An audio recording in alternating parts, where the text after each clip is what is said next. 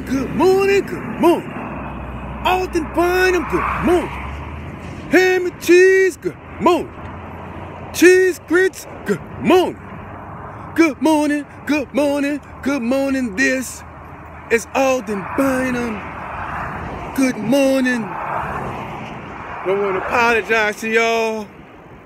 I've been like a little bit under the weather, like, you know, in and out. You know, with this, because in New Orleans it's been getting cold, and, and I think in the Gulf states it's been getting cold, and hot, and hot, and cold, and then, you don't know, and then in establishments, you know, it might be cold outside, and they got the heat on. Then all of a sudden, get warm outside, and they, and so, yeah, been kind of other, but anyway, I'm gonna give y'all a little bit. Cuz I'm, I'm, I'm, doing it tomorrow, cuz I'm gonna knock that joint out tomorrow going downtown. But LSU and Clemson are here. The Tigers of both teams are here. And it's been interesting, little stuff that I've been seeing, uh, people that I've been meeting.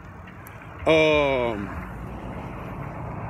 let's just say I have met uh, and it's been interesting. The uh, and I can't talk about too much. I'm not saying I can't talk about too much. I'm not, but it's very interesting. Let's just say, um, both fan bases. Clemson is is you know LSU is is, uh, is going to have a lot of fans, but Clemson fans have shown up early or, well, you see, have shown up and they're ready to cheer their team on.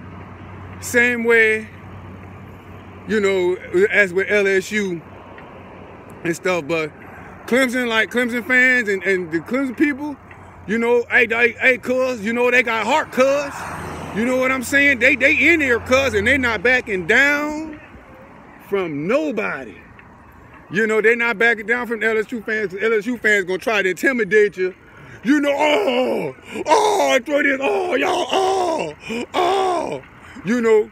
And so, all right, all right, you can't back down. And they not backing down. So, shout out to really both fan bases and everyone that's uh, that came from out of town. Uh, and watch out for the stories. Let me say today is Saturday. Between now and Monday morning, Monday afternoon, they're gonna have some stories and stuff. And uh mm-hmm.